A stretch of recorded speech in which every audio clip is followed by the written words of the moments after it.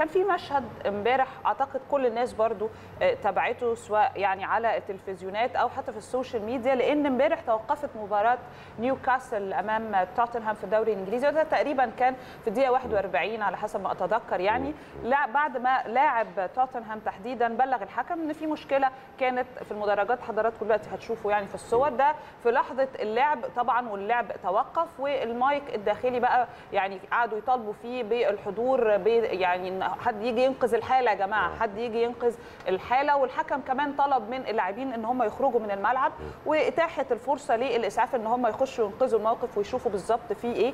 موقف كان أكيد صعب جدا يعني.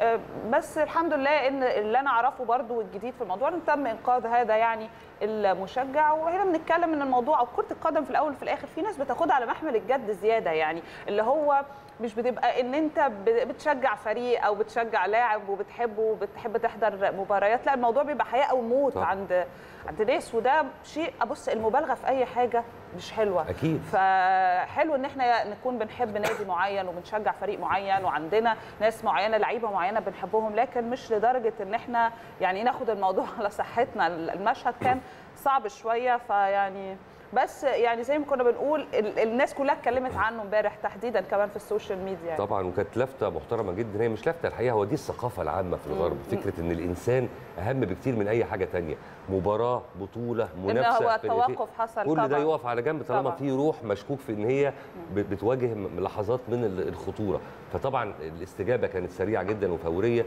وحلو قوي إن إحنا نشوف إن في في كسر من الثانية أجهزة طبية موجودة في الاستاد وبعدين دلوقتي بقى خلاص الموضوع ما بقاش مقتصر على اللاعبين.